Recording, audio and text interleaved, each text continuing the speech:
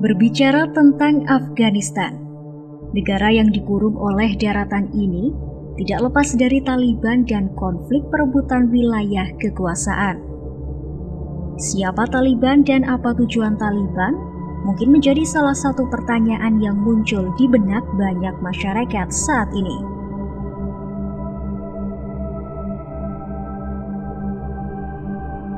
Diambil dari bahasa Pashto, Taliban memiliki arti pelajar. Hal ini merujuk pada anggota kelompok ini yang pernah belajar di bawah Mullah Omar.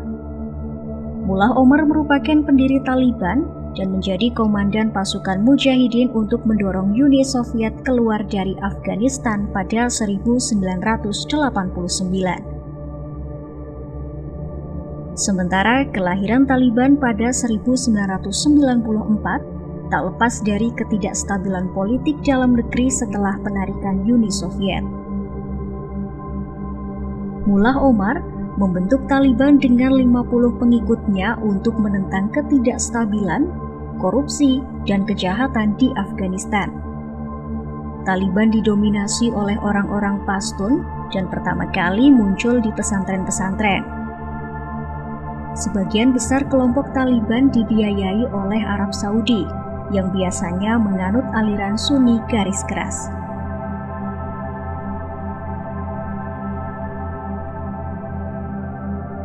Tujuan Taliban atau janji Taliban di wilayah-wilayah Pashtun adalah untuk mengembalikan perdamaian dan keamanan berdasarkan syariah Islam jika mereka berkuasa.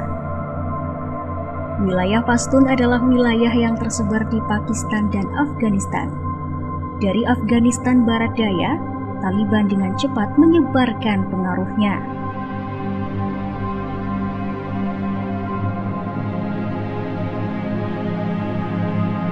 Pada September 1995, Taliban merebut provinsi Herat di perbatasan Iran dan tepat setahun kemudian mereka merebut ibu kota Afghanistan, Kabul. Taliban juga sukses menggulingkan kekuasaan rezim Presiden Burhanuddin Robbani, salah satu pendiri mujahidin Afghanistan yang menentang pendudukan Uni Soviet. Dua tahun kemudian, pada 1998, Taliban berhasil menguasai hampir 90% wilayah Afghanistan.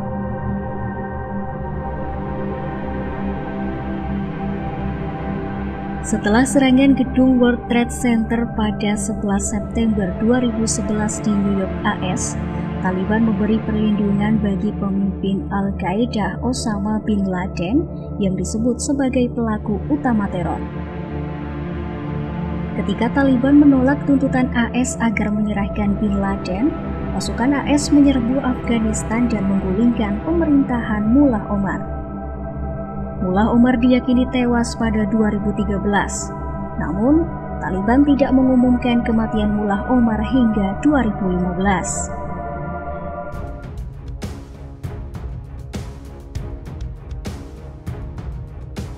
Taliban sempat melakukan pembicaraan langsung dengan AS pada 2018 dan keduanya pada Februari 2020 menandatangani kesepakatan damai di Doha yang berisi komitmen AS untuk menarik pasukan dan Taliban tak melakukan serangan pada pasukan AS. Janji-janji lain termasuk tidak mengizinkan Al-Qaeda atau militan lain untuk beroperasi di area yang dikuasainya dan melanjutkan perjanjian perdamaian nasional. Tetapi pada kenyataannya, Setahun setelah perjanjian itu ditekan, Taliban terus menargetkan serangan ke pasukan keamanan Afghanistan dan dengan cepat menyerang berbagai wilayah di seluruh negeri.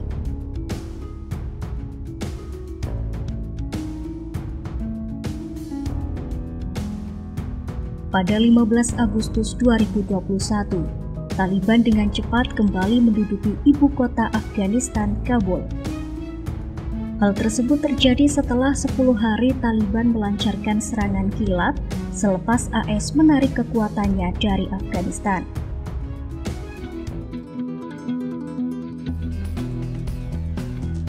Popularitas Taliban sebagian besar karena keberhasilan mereka memberantas korupsi, membatasi pelanggaran hukum dan membuat jalan-jalan serta area-area di bawah kekuasaan mereka aman untuk perdagangan.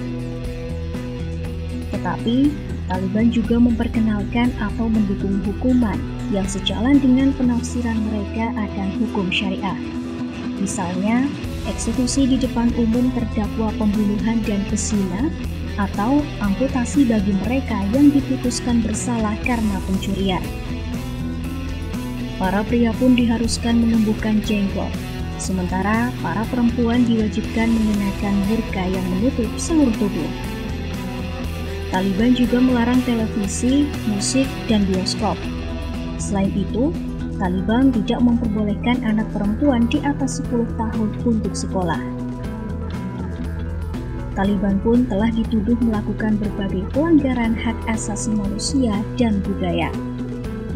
Namun tak diragukan, banyak warga Afghanistan yang bergabung dengan gerakan ini adalah lulusan madrasah-madrasah di Pakistan.